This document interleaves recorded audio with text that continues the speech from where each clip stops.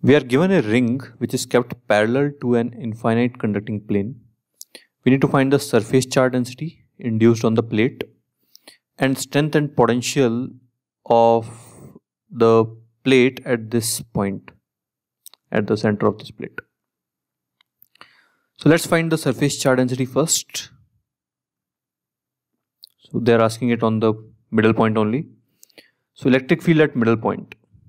So because of both the rings, it's going to be downwards. Its value is going to be same. So let's say it is E. So downwards it is 2E is equal to sigma r by epsilon. So this is the electric field, electric field due to a conductor, just in the vicinity of a conductor. So 2E is field due to the plus q charge and minus q charge on the rings and sigma r by epsilon is field due to plus q and charge on the conducting plate, induced charge on the conducting plate.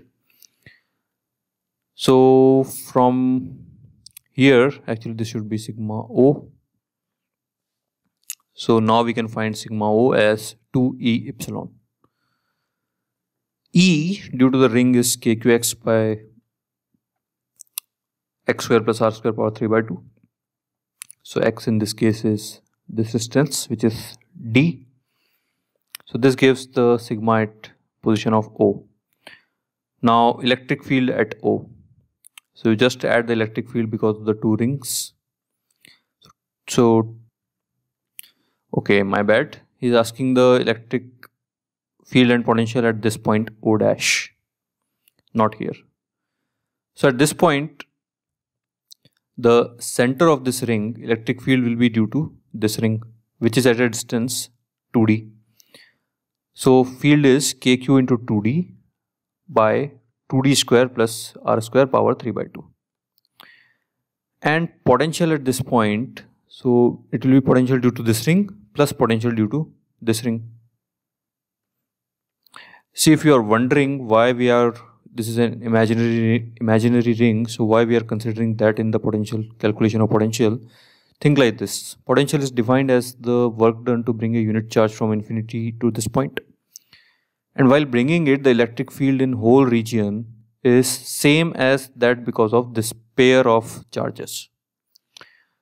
Which means the work done by the external agent to bring a charge here in case of this conducting plane and work done to bring a charge in center of this ring in case of two rings is same because electric field in the region is exactly same so that's why we are able to calculate the potential here by just seeing by using this ring.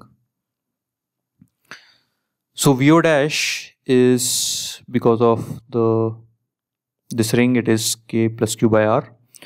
And because of this negatively charged ring it is K into minus Q by root of this distance. Because all this negative charge is at a distance this distance away which is 2d square plus r square which gives our answer